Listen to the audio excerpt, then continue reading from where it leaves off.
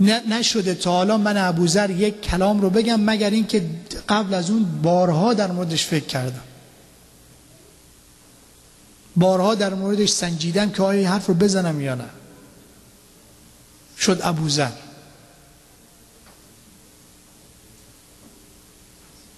که الان تاریخ شیعه رو نگاه بکنید یکی از افتخارات شیعه هست. این صفت چهارم.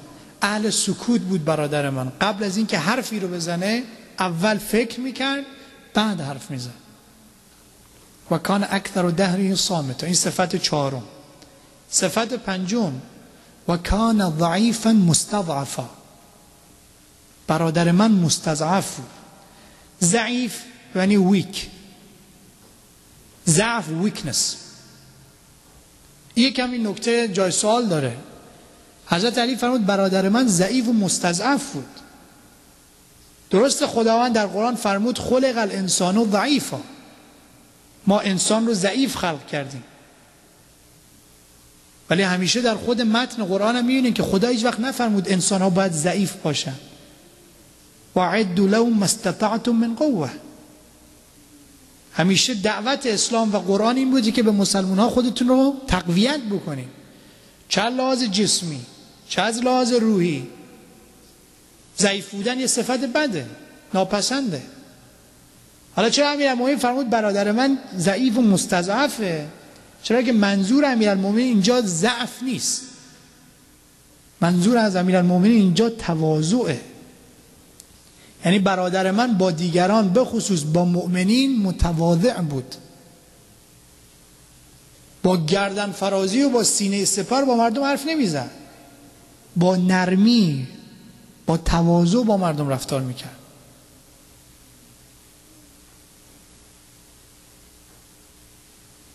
افتادگی آموز اگر طالب فیضی. اینو برای فارسی میگم قسمت فارسی. افتادگی آموز اگر طالب فیضی هرگز نخورد آب زمینی که بلند است. می اگر می‌خوای یاد بگیری چجور باید زندگی بکنی هامبل باش متواضع باش. چرا که اگر خودتو بلند بگیری متکبر باشی مثل یه زمینی که بلند باشه هیچ وقت آب بهش نمی‌رسه. مثل یه زمین صاف باش که به تو هم آب برسه. با مردم یه رنگ باش خودتو از مردم بالا ندون این خیلی صفت مهمیه. اگه ما اینجوری با مردم رفتار بکنیم دوست الا ماشاءالله داریم. مردم لذت می‌برن از همنشینی با ما. مردم دنبال اینن که با ما بشینن حرف بزنن. اگر دیدیم مردم از دوربر ما فرار می‌کنن هیچ کس نمی‌خواد با ما صحبت بکنه باید یک تجدید نظری تو رفتارمون بکنیم. امیر المومن علی علیه السلام با اون همه عظمت با اون همه جایگاه وقتی که میاد با صحابه خودش صحبت بکنه نمیگه من علیم من فاتح خیبرم. میگه من برادر مسلمان شما. به عبازر و به مقداد و به سلمان برادر صدا می‌زنه. دوست صدا می‌زنه. و کان ضعیفا مستضعفا. در مقابل انسان های مؤمن اذلتا علی المؤمنین و عزتا علی الکافرین. با انسان های مؤمن خوشرفتار متواضع. اما با کسانی که برخلاف عقیده او هستند برخلاف روش او هستن با عزت رفتار می‌کنه نه اینکه با دشمنی. عزت خودش رو حفظ می‌کنه. ما چون خیلی وقتا خودمون رو خار می‌کنیم ذلیل می‌کنیم. در اسلام ما اجازه نداریم خودمون رو ذلیل بکنیم. آبروی ما خیلی مهمه. اینکه شما برین رو بندازین جلوی انسان ازش قرض بخواین در اسلام توضیح شده نیست. آبرو رو خیلی باید مواظبش باشیم. هم باید مواظب آبروی خودمون باشیم هم مواظب آبروی بقیه مواظب آبروی کسی رو ببریم. ارز المؤمن اعظم حرمتا من الكعبه آبروی انسان مؤمن احترام انسان یک مؤمن از احترام خانه خدا بالاتره. حدیث امام صادق هست. یعنی اگر شما دو تا چویس داشتین یک می‌تونستین به کعبه بی احترامی بکنین مجبور بودین ها. مجبور بودین به کعبه بی احترامی بکنین چویس دو مجبور بودین به یه انسان مؤمن بی احترامی کنین خدا میگه اولی رو بکنم و دومی رو نکن. به کعبه اشکال کمتر داره تو اندازه که به انسان مؤمن بکنی حالا واقعا ما چقدر مواظب بودیم که آبروی برادر ما خواهر مؤمن ما حفظ بشه. چه بسیار که بعضی وقتا ما باعث بودیم آبروی کسی خدای نکرده بریزه. که این حق الناس برگردن ماست. تهمتی به کسی بزنیم. جلوی بقیه با کسی او رو تحقیر بکنیم کوچک بکنیم. که خدا از ما خواهد پرسید. فرق نمی‌کنه حالا این فرد مسن بچه جوونه چه بسیار وقتا که ما آبروی انسان جوان رو می‌بریم و در مقابل خدا مسئولیم. اینو من این نکته دیگه باز انشالله برای جوانان در آخر اضافه می‌کنم. جزو شرط آخر هست. این صفت پنجم و کان ضعیفا مستضعفا. برادر من متواضع بود با انسانهای مؤمن. با نرمی برخورد می‌کرد.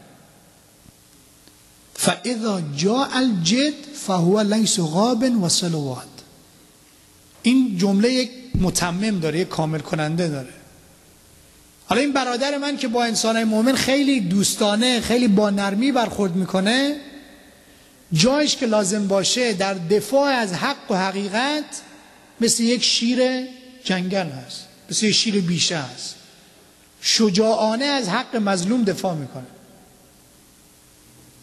امام حسین علیه السلام جایی که لازم بود نشست کنار امام حسن مشتبه به آرامی. حتی دید جنازه برادرش تیرباران شد ولی باز هم اونجا آرام نشست. فهمید یه مسلمان جاهل و نادان به خاطر تشویق معاویه اشتباهی کردن. اینجا امام حسین با تواضع با اینا رفتار کرد با نرمی رفتار کرد. اما زمانی که اومدن حرف خدا رو از بین ببرن وقتی که اومدن قرآن رو از بین ببرن دین رو تحریف بکنن امام حسین ساکت ننشست. قیام کرد. بر علیه ظلم قیام کرد. که بارا خودش فرمود. تنها دلیلی که امام حسین قیام کرد فرمود برای نجات دین جدم بود. پس اگه امام حسین میفرماید برادر من اگر ضعیف و مستضعف با دوستان خدا هست با دشمنان خدا با کسانی که برخلاف عقیده خودش هستن شجاعانه از عقیده و حقیقت دفاع می‌کنه. نمی‌ذاره حقیقت پایمال بشه. نمی‌ذاره حقی ناحق بشه. مانند یه شیر دفاع می‌کنه. حالا این شجاعت رو چجوری ما در اسلام ترجمه می‌کنیم؟ شجاع چه کسی هست؟ اشجع الناس من غلب هواه. چه کسی می‌تونه از حقیقت دفاع بکنه از راه خدا دفاع بکنه؟ من غلب هوا کسی که بتونه به هوا و هوس و دزایر خودش اول غلبه بکنه. که این کلمه جهاد که خیلی معروف شده این که جهاد اسقره که دارن ازش تو استفاده می‌کنن. اون جهاد اکبر رو ما همه ازش غافل شدیم. که اونم اون مبارزه با هوا هوس و نفس ما هست. او یزید درون ما هست. که ما نیاز داریم باش مبارزه بکنیم.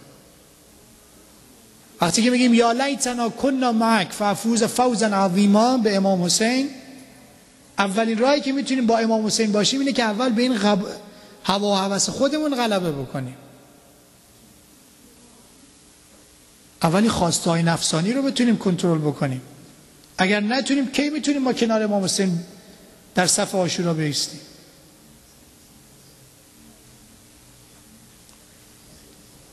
و کان ضعیفا مستضعفا. فاذا جاء الجد فهو ليس غاب و سلوات. در جاش متواضع با اهل دین با مؤمنین متواضع اما جایی که در دفاع از حقیقت بود دفاع از مظلوم بود مثل یه شیر شجاع دفاع می‌کنه. صفت ششم که انشالله این کلام رو تمام بکنیم با این صفت ششم به هفتم که پایانی باشه. خیلی هم برای ما درس بزرگ است. این دوتا رو یه کمی باید بیشتر توجه بکنیم. یه سلوات خواهد بفرمایید.